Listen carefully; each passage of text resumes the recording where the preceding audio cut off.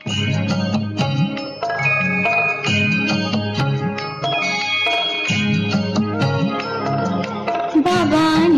मुरली धनुले विनगाने ना मनसे विहरिञ्चेनु। सेवि हरिं चे नू हा ग नामन सेवि हरि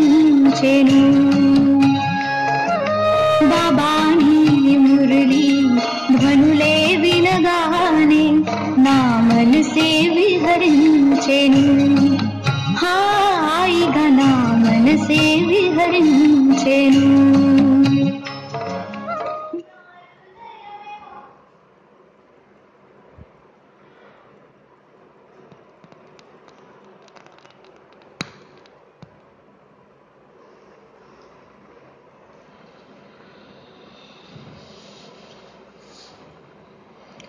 ఓం శాంతి. Seventeenth April two thousand twenty Sakar మురళి. మురళీసారము మధురమైన పిల్లలు బాబా నాలెడ్జ్ఫుల్గా ఉన్నారు. వారిని సర్వాంతర్యామి అంటే అన్నీ తెలిసినవాడు అని అనటము ఇది ఉల్టా మహిమ.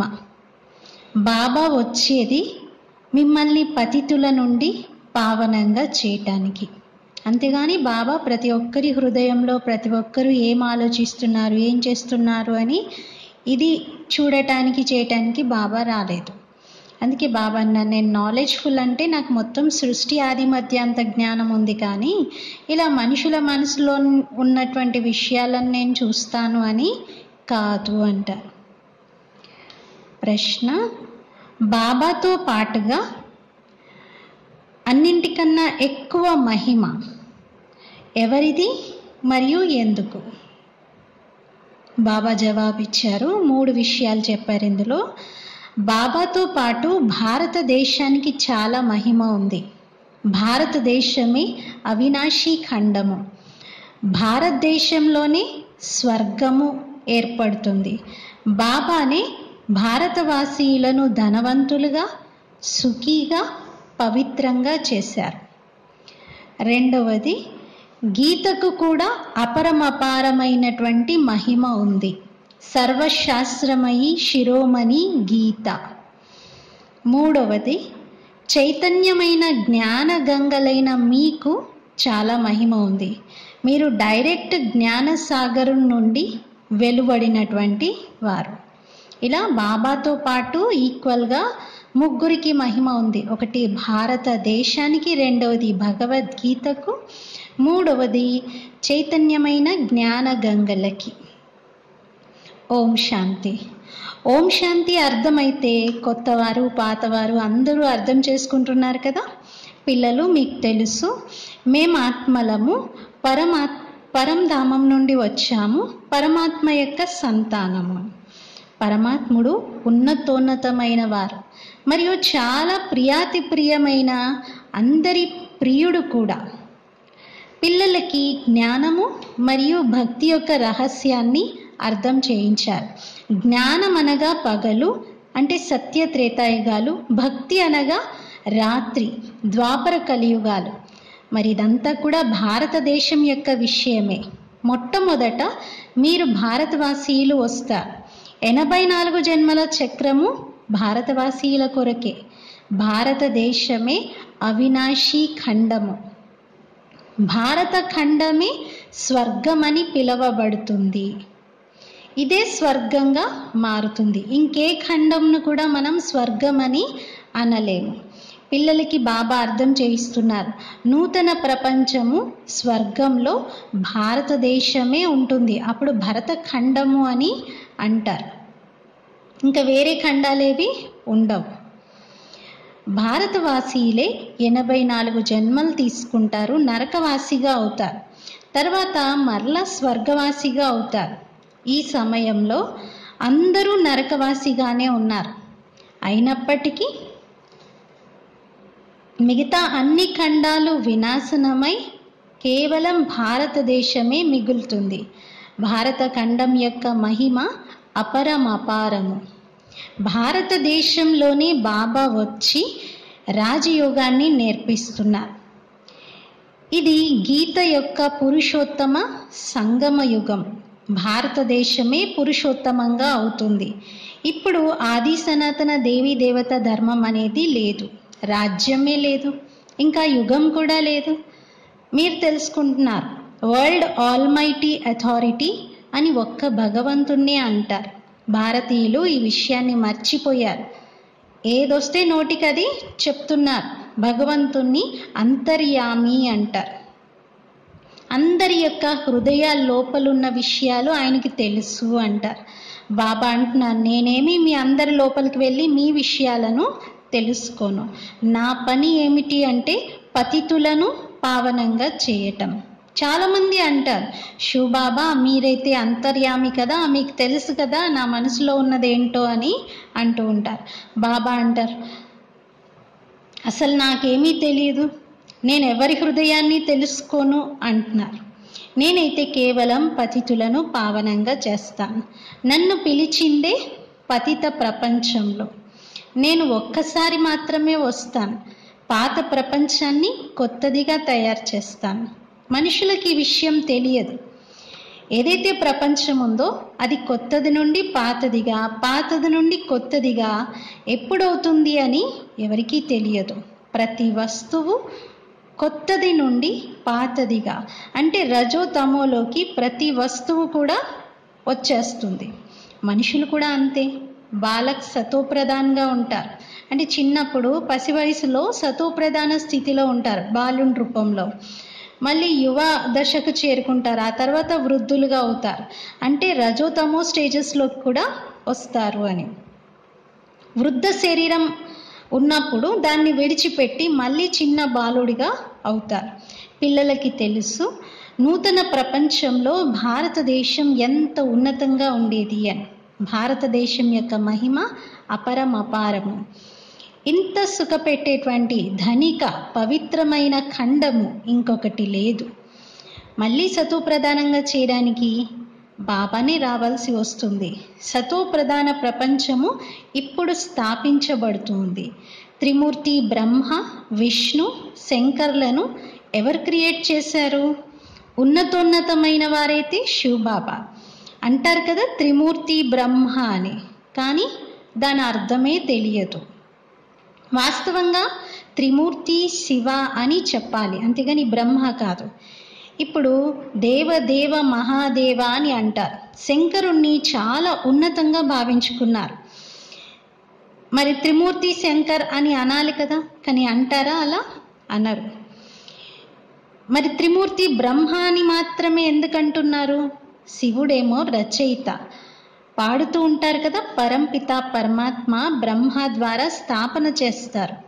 దేన్ని స్థాపిస్తారు? అవన్నారు ముందు నేను బ్రాహ్మణులను స్థాపిస్తాను. భక్తి మార్గంలో నాలెడ్జ్ఫుల్ బాబాను అంతర్యామి అని చెప్పేశారు.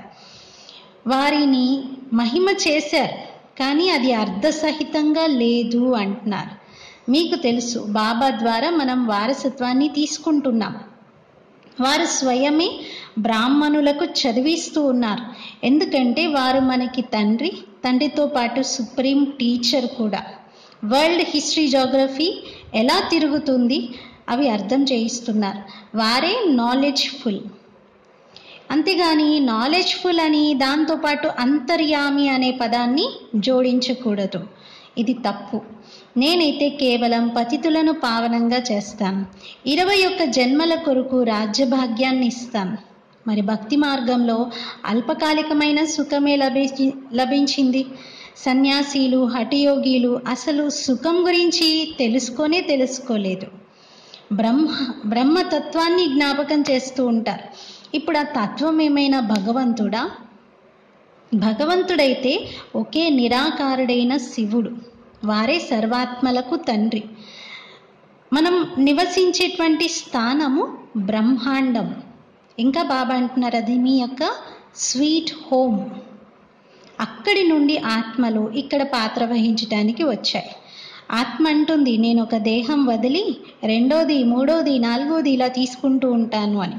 ఇలా ఎనభై నాలుగు జన్మలు భారతవాసీలకే ఎవరైతే అధికంగా భక్తి చేశారో వారి జ్ఞానం కూడా చాలా ముందుగా వచ్చి తీసుకుంటారు. బాబా అంటారు గృహస్థ వ్యవహారంలో భలే ఉండండి కానీ శ్రీమతం పైన నడవండి. మీరందరు ఆత్మలు ప్రేయశీలుగా ఉన్నారు. పరమాత్మ పరమాత్మ ప్రియునికి. భక్తి మార్గం నుండి చూస్తే మీరు వారిని జ్ఞాపకం చేస్తూ వచ్చారు. ఆత్మ తండ్రిని జ్ఞాపకం చేస్తుంది. ఇది ఉన్నదే దుఃఖధామం. మనము వాస్తవంగా శాంతిధామం యొక్క నివాసులం. ఆలస్యంగా వచ్చినట్లయితే సుఖధామంలో సుఖధామంలో ఆలస్యంగా వచ్చినట్లయితే ఎనభై నాలుగు జన్మలు తీసుకోలేరు. మనము పరంధామం నుండి సుఖధామానికి డైరెక్ట్గా వచ్చేసాం. హంసో సోహం అంటారు కదా దాని అర్థం కూడా బాబా చెప్తున్నారు.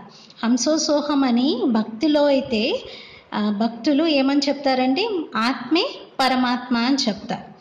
అంటే పరమాత్ముడే ఆత్మ ఆత్మే పరమాత్మ. మనమే భగవంతుడు భగవంతుడే మనము అని అంటారు. కానీ బాబా దాని అర్థం చెప్తున్నారు. హంసో సోహం అంటే మీరే దేవతలుగా ఉండేవారు మీరే క్షత్రియులుగా ఉండేవారు మీరే వైశ్యులుగా శూద్రులుగా ఇప్పుడు మళ్ళీ మీరే బ్రాహ్మణులుగా అయ్యారు. బ్రాహ్మణ్ నుండి మరలా దేవతగా అవుతారు. ఇప్పుడు ఇది యథార్థమైనటువంటి అర్థం. వాళ్ళు చెప్పింది పూర్తిగా రాంగ్. సత్యయుగంలో ఒకే దేవీ దేవతా ధర్మం అద్వైత ధర్మం ఉండేది. ఆ తర్వాత ఇతర ధర్మాలు వచ్చాయి. అంటే ద్వైతం మొదలైంది. ద్వాపర యుగం నుండి ఆసురి రావణ రాజ్యం ఆరంభమవుతుంది. సత్యయుగంలో రావణ రాజ్యమే ఉండదు. ఇంకా ఐదు వికారాలు కూడా ఉండవు. అది ఉన్నదే సంపూర్ణ నిర్వికారి లోకం. సీతారాములను కూడా పద్నాలుగు కళా సంపూర్ణమనే అంటారు. రామునికి బాణం ఎందుకు చూపించారు? ఇది కూడా చాలామందికి తెలియదు. హింస విషయం ఏమీ లేదు. మీరు గాడ్లీ స్టూడెంట్. మరి శివబాబా మనకి ఫాదర్ కూడా ఉన్నారు కదా? స్టూడెంట్ కూడా ఈ బ్రహ్మ అయితే స్టూడెంట్గాను ఉన్నారు. మీరు స్టూడెంట్ అవుతే మరి శివబాబా టీచర్ ఉన్నారు. మీరు గాడ్లీ స్టూడెంట్స్ ఆ తర్వాత మీకు సద్గతిని బాబా గురువు రూపంలో ఇస్తారు. స్వర్గానికి తీసుకొని వెళ్తారు. మరి తండ్రి టీచర్ గురువు ఈ విధంగా మూడు రూపాలతో బాబా మీకు పాలన చేస్తున్నారు. ప్రతి సంవత్సరము ప్రతి సంవత్సరము రావణుణ్ణి తగలబెడుతూ ఉంటారు. కానీ రావణుడు ఎవరు? ఇది తెలియటం లేదు. మనుషులకు ఏమీ తెలియదు. రావణ రాజ్యం కదా ఇది? అంటున్నారు బాబా. మీకు తెలుసు ఈ రావణుడు భారతదేశం యొక్క చాలా పెద్ద శత్రువు. ఈ జ్ఞానం పిల్లలైన మీకే నాలెడ్జ్ఫుల్ బాబా ద్వారా లభిస్తుంది. వారు జ్ఞానసాగరుడు ఆనందసాగరుడు. జ్ఞానసాగరం నుండి మీరు మేఘాలై నింపుకొని తర్వాత వెళ్ళి కురుస్తారు. ఎక్కువగా బాబా అంటారు మీరు రోజు బాబా దగ్గరికి వచ్చి జ్ఞానాన్ని నింపుకుంటారు. తర్వాత మళ్ళీ గృహస్థంలోకి ఈ సమాజంలోకి అందరి మధ్యలోకి వెళ్తారు కదా? అక్కడ బాబా చెప్పినటువంటి విషయాలను మనం నింపుకున్న దాన్ని మళ్ళీ వెళ్ళి కురిపిస్తాం. అంటే వాళ్ళందరికీ కూడా పంచుతాం. జ్ఞాన గంగలు మీరే. మీకు కూడా చాలా మహిమ ఉంది. బాబా అంటారు. నేను మిమ్మల్ని పావనంగా చేయటానికే వచ్చాను. ఈ ఒక్క జన్మ పవిత్రంగా ఉండండి. నన్ను జ్ఞాపకం చేయండి. ఇంకా మీరు తమో ప్రధానం నుండి సతో ప్రధానంగా అవుతారు. నేనే పతిత పావనుణ్ణి. ఎంత వీలైతే అంత స్మృతిని పెంచుకోండి. నోటితో శివబాబా శివబాబా అనే అవసరం లేదు. ఏ విధంగా ప్రేయసి ప్రియులు ఒకరినొకరు జ్ఞాపకం చేసుకుంటారు. ఒక్కసారి చూసుకుంటారు అంతే. ఇంకా బుద్ధిలో వారి చిత్రం అలా నిలిచిపోతుంది. వారే గుర్తొస్తూ ఉంటారు. భక్తి మార్గంలో ఎవరు ఏ దేవతని జ్ఞాపకం చేస్తే ఎవరిని పూజిస్తే వారి సాక్షాత్కారమే జరుగుతుంది. అది అల్పకాలికం కొరకు భక్తి చేస్తూ చేస్తూ క్రిందకే వస్తూ వచ్చారు. ఈ విధంగా బ్రహ్మ బాబా కూడా నారాయణుని భక్తుడు. అందుకని బ్రహ్మ బాబాకు జరిగిన సాక్షాత్కారాల్లో మొదటి సాక్షాత్కారం ఏంటి అంటే విష్ణు చతుర్భుజం. బాబాకి విష్ణు చతుర్భుజం కనిపించి తతత్వం అనే వరదానం కూడా లభించింది. అలా బాబా అంటున్నారు ఎవరు ఎవరిని ఎక్కువగా పూజిస్తారో వారి యొక్క సాక్షాత్కారము కలుగుతుంది. ఇప్పుడు మృత్యు ఎదురుగా ఉంది. అయ్యో అయ్యో అని అంటూ తర్వాత జయ జయకారాలు కూడా జరుగుతాయి. భారతదేశంలో రక్తపు నదులు ప్రవహిస్తాయి. సివిల్ వార్స్ యొక్క దృశ్యాలు కూడా కనిపిస్తూనే ఉన్నాయి. తమో ప్రధానంగా అయిపోయారు. ఇప్పుడు మీరు సతో ప్రధానంగా అవుతూ ఉన్నారు. ఎవరైతే కల్పకృతం దేవతలుగా అయ్యారో వాళ్ళే వచ్చి మళ్ళీ బాబా దగ్గర వారసత్వం తీసుకుంటారు. తక్కువ భక్తి చేశారనుకోండి జ్ఞానం కూడా కొంచెమే తీసుకుంటారు. వారు ప్రజల్లో నెంబర్ వారీగా పదవిని పొందుతారు. మంచి పురుషార్థి పిల్లలు శ్రీమతంపై పూర్తిగా నడుస్తూ మంచి పదవిని పొందుతారు. మేనర్స్ కూడా చాలా బాగా ఉండాలి. దైవీ గుణాలను కూడా ధారణ చేయాలి. అప్పుడు అవి ఇరవై ఒక్క జన్మలు నడుస్తాయి. ఇప్పుడు అందరిలో ఆసురి గుణాలు ఉన్నాయి ఆసురి ప్రపంచం కదా? పతిత ప్రపంచం కదా? పిల్లలు మీకు బాబా వరల్డ్ యొక్క హిస్టరీ జాగ్రఫీని అర్థం చేయిస్తున్నారు. ఈ సమయంలో బాబా అంటారు నన్ను జ్ఞాపకం చేసే శ్రమ చెయ్యండి. అప్పుడు మీరు సత్యమైన బంగారంగా తయారవుతారు. సత్యుగం అంటే గోల్డెన్ ఏజ్ సత్యమైన బంగారము తర్వాత త్రేతాయుగంలో వెండి యొక్క మిక్స్చర్ ఏర్పడుతుంది. అంటే సత్యయుగాన్ని గోల్డెన్ ఏజ్ అన్నారు త్రేతాయుగాన్ని సిల్వర్ ఏజ్ అన్నారు. అంటే గోల్డ్ కాస్త సిల్వర్గా కొంత ఎలాయ్ మిక్స్ అయి అలా అయిపోతుంది అంటున్నారు. అంటే ఇది దీని భావార్థం ఏంటి అంటే ఆత్మ యొక్క ప్యూరిటీ తగ్గిపోతుంది కొంత కొంత. రెండు కళలు తగ్గిపోయాయి కదా. ఇప్పుడు ఏ కళ లేదు. ఎప్పుడైతే ఇలాంటి స్థితి ఏర్పడుతుందో అప్పుడే బాబా వస్తారు. అంటే పూర్తిగా ఆత్మ కళాహీనంగా అయిన స్థితిలో భగవంతుని యొక్క అవతరణ జరుగుతుంది. ఇది డ్రామాలో ఉంది. ఈ రావణ రాజ్యంలో అందరూ తెలివి తక్కువగా అయిపోయారు. బేహద్ డ్రామా యొక్క పాత్రధారిగా ఉండి కూడా డ్రామా యొక్క ఆది మధ్యాంతాన్ని తెలుసుకోవటం లేదు. మీరు యాక్టర్స్ ఉన్నారు. మీకు తెలుసు మీరు ఇక్కడ పాత్ర వహించటానికే వచ్చారు. కానీ పాత్రధారిగా ఉండి కూడా కొందరు తెలుసుకోవటం లేదు. బేహద్ తండ్రి ఏం చెప్తున్నారంటే పిల్లలు మీరు ఇంతకు ముందు ఎంత తెలివి తక్కువగా ఉండేవారు? ఇప్పుడు నేను మిమ్మల్ని తెలివైన వారిగా వజ్రతుల్యంగా తయారు చేస్తున్నాను. తర్వాత రావణుడు గవ్వతుల్యంగా తయారు చేస్తాడు. నేనే వచ్చి అందరినీ నా వెంట తీసుకొని వెళ్తాను. తర్వాత ఈ పతిత ప్రపంచం కూడా వినాశనం అవుతుంది దోమల గుంపు మాదిరిగా అందరూ బాబాతో పాటు వెళ్ళిపోతారు. మీ లక్ష్యం ఉద్దేశం ఎదురుగా ఉంది. మీరు ఇప్పుడు స్వర్గవాసిగా అవుతూ ఉన్నారు. మీరు బ్రహ్మ కుమార్ కుమారీలు ఇదే పురుషార్థం చేస్తున్నారు. అంటే మేము స్వర్గంలో ఉన్నత పదవిని పొందాలి అని.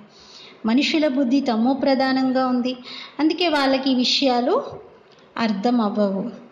ఇంతమంది బీకేలు ఉన్నారు అంటే తప్పనిసరిగా ప్రజాపిత బ్రహ్మ కూడా ఉంటారు. బ్రాహ్మణులంటే పిలక. బ్రాహ్మణుల తర్వాత దేవత క్షత్రి. ఇలా చిత్రాల్లో బ్రాహ్మణులను మరియు శివుణ్ణి మాయం చేసేసారు అంటే విరాట్ రూపం యొక్క చిత్రంలో ముఖ భాగంలో దేవతలను భుజాల భాగంలో క్షత్రియులను ఉదర భాగం అంటే పొట్ట భాగంలో వైశ్యులను అలాగే పాదాల వద్ద శూద్రులను చూపించారు. కానీ ఈ మొత్తంలో ఎక్కడా కూడా భగవంతుని చూపించలేదు బ్రాహ్మణులను కూడా చూపించలేదు. అయితే బాబా రమణీకంగా చెప్తారు పిలక వెనకాల ఉంటుంది కదా బ్రాహ్మణులు అంటే పిలక కాబట్టి ఫ్రంట్ నుండి ఆ యొక్క రూపంలో కనబడట్లేదు అని. మరి మీరు బ్రాహ్మణులు ఇప్పుడు భారతదేశాన్ని స్వర్గంగా తయారు చేస్తూ ఉన్నారు. అచ్చా. मीठे मीठे सिकिलते बच्चों प्रति मात पिता बाप दादा का याद प्यार और गुड मॉर्निंग रूहानी बाप की रूहानी बच्चों को नमस्ते। हम रूहानी बच्चों की रूहानी बाप दादा को याद प्यार गुड मॉर्निंग और नमस्ते। मेरा बाबा, मीठा बाबा, प्यारा बाबा, शुक्रिया बाबा।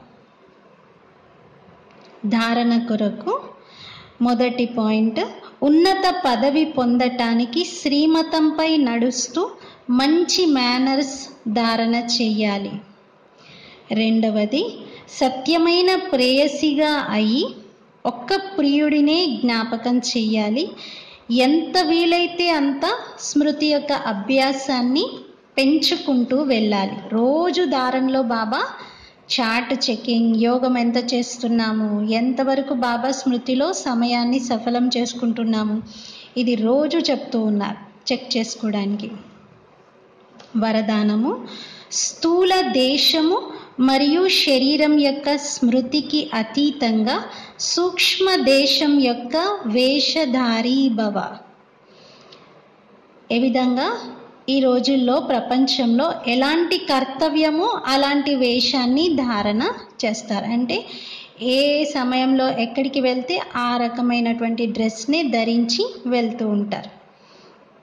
అలాగే మీరు కూడా సమయాన్ని బట్టి కర్మలు చేస్తూ ఉంటారు. ఆ కర్మల్ని బట్టి అలాంటి వేషధారణ కూడా చేసుకోండి.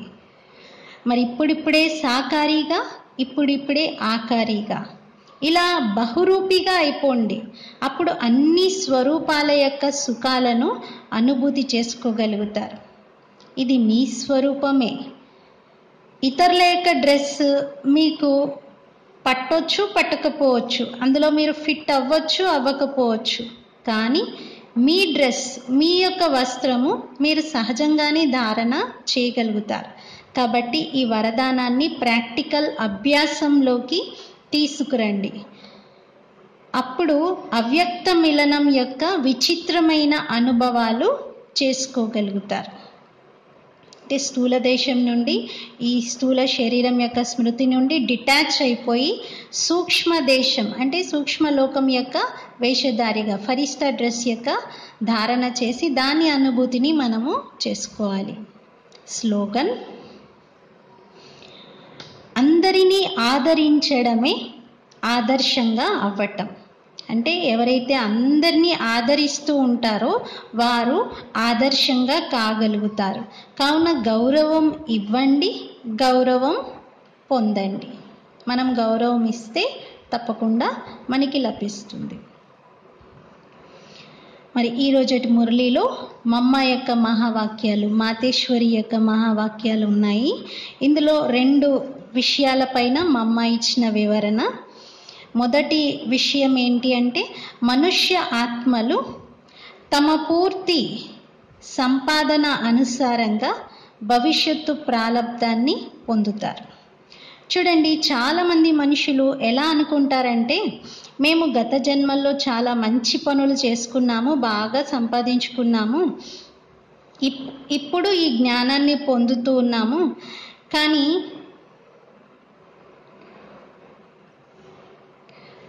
కానీ అలాంటి విషయం ఏమీ లేదు. అంటే మా అమ్మ ఏం చెప్తున్నారంటే చాలామంది అనుకుంటూ ఉంటారు పూర్వజన్మల యొక్క మంచి సంపాదన వల్లనే ఈరోజు మేము ఈ స్థాయిలో ఉన్నాము అని. పూర్వజన్మల యొక్క మంచి ఫలం ఉంటే ఇదైతే మనందరికీ తెలుస్తుంది కల్పం యొక్క చక్రం తిరుగుతూ ఉంది.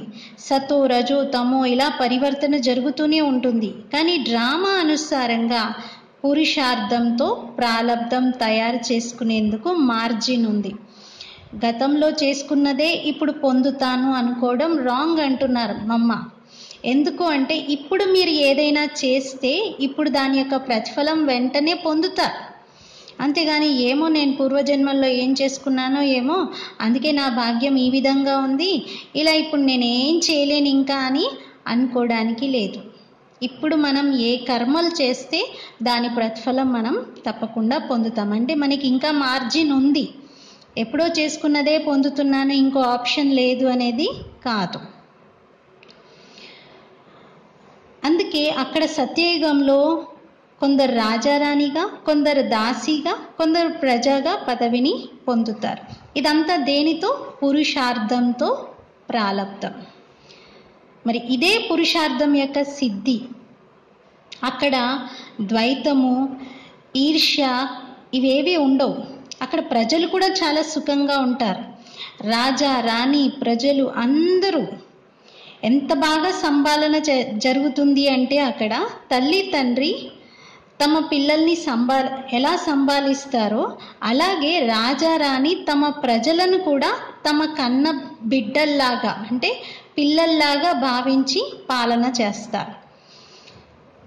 అక్కడ పేదవారైనా సావుకారులైనా అందరూ సంతుష్టంగా ఉంటారు. ఈ ఒక్క జన్మ యొక్క పురుషార్థంతో ఇరవై ఒక్క జన్మల కొరకు మీరు సుఖాన్ని పొందుతారు. ఇది అవినాశీ సంపాదన. ఎవరైతే ఈ అవినాశీ సంపాదనలో అవినాశీ జ్ఞానంతో అవినాశీ పదవిని పొందుతారో వారు చాలా ముందుకు వెళ్తారు. ఇప్పుడు మనము సత్యయుగి ప్రపంచంలోకి వెళ్తూ ఉన్నాం. ఇది ప్రాక్టికల్ ఆట నడుస్తూ ఉంది. ఇక్కడేం చూమంత్రం యొక్క విషయం లేదు. ఇక్కడ ప్రాక్టికల్గా మనం పురుషార్థం చేస్తూ ఉన్నాం. రోజు జ్ఞానం వింటున్నాం బాబా స్మృతిలో ఉండే ప్రయత్నం చేస్తున్నాం చాట్ పెట్టుకుంటున్నాం రోజంతా సెల్ఫ్ కేర్ తీసుకుంటూ ఉన్నాం.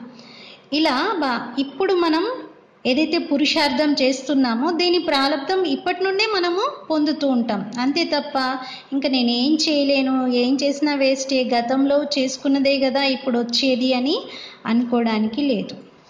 రెండో విషయము గురువు మతము శాస్త్రాల యొక్క మతము అదేమి పరమాత్మ మతం కాదు.